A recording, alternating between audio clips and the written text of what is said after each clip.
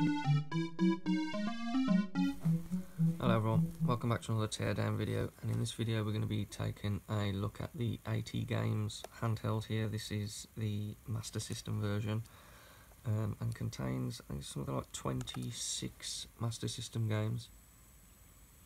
Uh, now I'm assuming this runs off the same technology as the Mega Drive version and they've just put Master System ROMs on instead.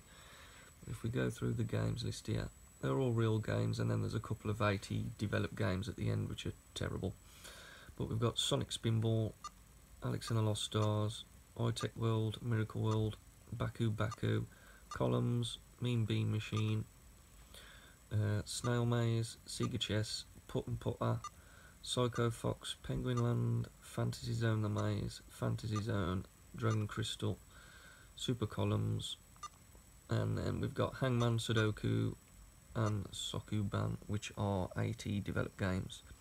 And I'll just click one of them on now so you can just see how terrible they are.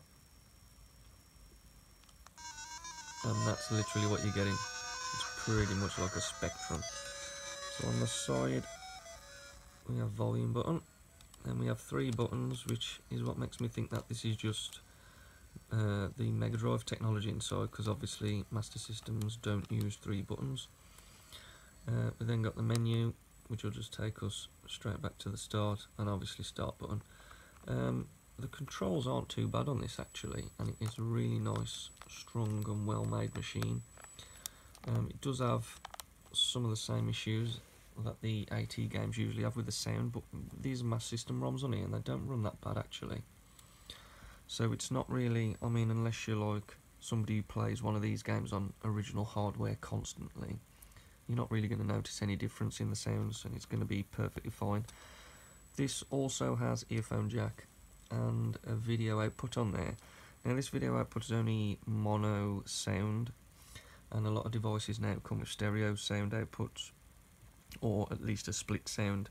Well this won't, if you plug it in you'll just get nothing on the screen so you only need like a yellow and white cable lead for this which does come with the console but I've picked this one up because I've had one of these previously but I picked this one up second hand um, so it hasn't come with a box or anything. Uh, so I think what I'm going to do is when we tear it down I think I might do a mod and turn it into the split audio channel so we can plug um, a proper composite cable lead into there then instead of having to rely on just a two lead one because as I said you plug the one with the two sound channels in and on the connection there's a three or four instead of two or three. Uh, I think yeah it's four instead of three so it doesn't connect properly. But yeah we'll go through that in a separate video. But let's take it apart and see what this bad boy's made of.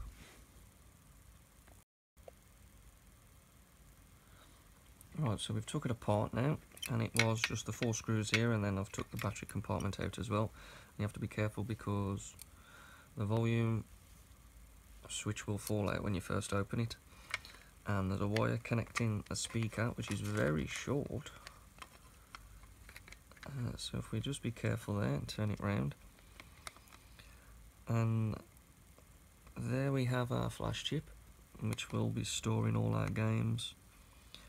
And here is our EEPROM chip which I'm a bit surprised as this actually has um, markings to put an actual chip on there.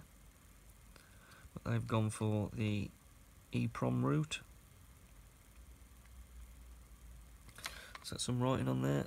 Model GP120 digital media cartridge limited. Hmm.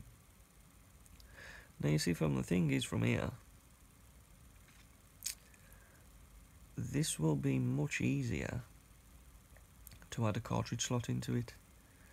Because they've left all the pins out here, the connections for a chip to go in, we can literally just see where every trace to the board goes and because we can see directly where they've gone to the flash chip this will be relatively easy to get a cartridge slot plugged up to it so that is going to be a nice little mod that I'm going to try Let's take the board out and see what's on the other side. I'm assuming not a lot. assuming it'll just be the screen.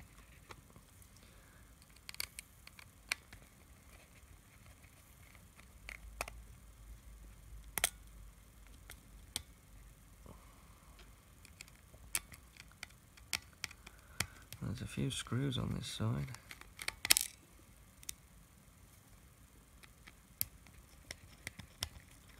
But yeah, um, as I say, it's not a bad little system. These do fetch uh, quite a decent price as well. Still, I think I think new you're talking about 30 quid, and second hand you're still talking about 20, I believe. I didn't pay that. I picked it up for dirt cheap. Oh. Right, that's all out. Can we get the board out now? Yes, it just lifts. Right, so here we go. Right, so as we see, on this side, all we have is our controller markings. Oh, that's a bit strange. As you see there, the buttons for select and start are actually soldered in pressure pads, which I've never actually seen before. On, on well, not on a clone console anyway, so I'm, I'm a bit surprised why they've used it for them and not everything else. Hmm, that's strange. We've got our LCD screen here with a standard connection on. They haven't soldered that, that is socketed, so that's quite decent. You would be able to uh, find compatible screens, maybe bigger ones. There's quite a lot you can do to this really, and it's all pretty much marked out with all the markings. This is actually a really nicely designed bit of kit. So I'm quite impressed. Unsure what this is here. Looks a bit weird. What's on the other side? Ah, oh, right, it's the battery connector. Not sure why it comes through like that though. So yeah, that's pretty much the inside of it. Let's put that back together. Oh, let's get them screws out first. Uh, and then we'll have a quick run through of some of the other games, but because these are just straightforward Master System games, I'm not going to uh, try and review any of the games or anything like that, because you can e easily just YouTube and there'll be millions and millions of videos of the games on here. Um, but if you do have any specific question about how a certain game operates, then let me know. And if necessary, I will get some gameplay of that game done. And I'm going to struggle now because I don't have a magnetic screwdriver with me. And it's going to take me forever to get these tiny little screws back in. But yeah, I'm quite happy that we're going to be able to do quite a lot with this because for those who've been watching my teardowns for a while, you'll know that a long, long, long, long time ago, I started doing a mod to add a cartridge slot on Famiclones without a cartridge slot, and I have pretty much done it, um, but I hit a, a, problem where I couldn't find out a couple of the uh, traces, and I struggled that with a while, so I shelved the problem for quite some time, and then I started working on it again and now I'm starting to get back into modding because life isn't as hectic as it was. I've got a bit more free time. So I'm starting to do a lot of these mod videos again. So hopefully I can jump on this as a project soon and get some super duper mods done. I mean this here this flash chip is used in a lot of clones AT game stuff. Uh, so I mean you could probably just lift a Mega Drive AT clones chip and solder it straight in here and it would it would run without a problem because I'm assuming I mean Mega Drive uh, emulators usually run Master System software anyway because pretty much built on the same technology. So so yeah I, I wouldn't see them developing a whole new system. They just rebrand and put Master System ROMs on yeah, not a uh, not much else to say about it really. I mean, we've got some general electronics parts. I think that might be a video chip there, or would it be sound? Where's the video output? The video out's there. So yes, I would think that would be. I'll get that zoomed in and then I'll check it out what it is because I can't actually see that writing at the minute. Uh, there we go. There's the chip. Well, yeah, I think that'll probably be the video chip or... Well, it's definitely the video or the sound chip. It's one of them. Uh, but yeah. What we got up here? Bansan BS6. Well, there doesn't seem to be a... Oh, there is a date there. 2008, 26th of the 4th. So 26th of April 2008 this one was made. Oh, I know what I forgot to do. Gotta get this back in. This will be the tricky part, getting the volume button back in. Because not only do you have to get it in the right place, you have to make sure it's on the button as well. Otherwise you're just going to be sliding nothing. And that's right. Let's put this back together and then we'll run through some of the games.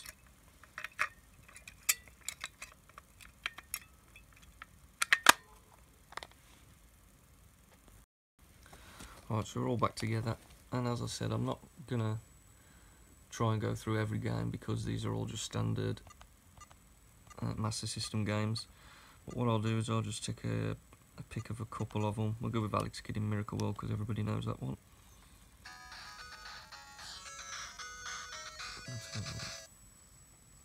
Volume down.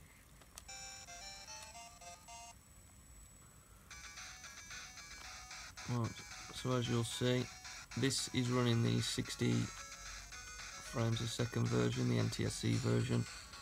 So it's hard for me to play because I'm playing sideways. Uh, but you can see the screen's nice, nice quality. Uh, the picture isn't amazing because obviously it's Master System games, but it's still, oh, I know, thought I'd push reset button there.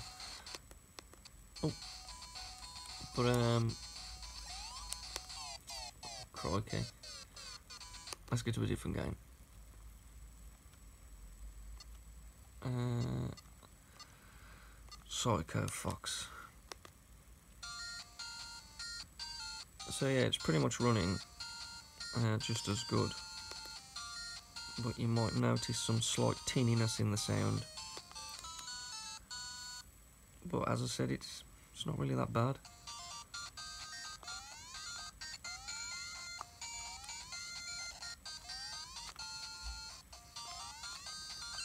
Oops. I've never actually played this game.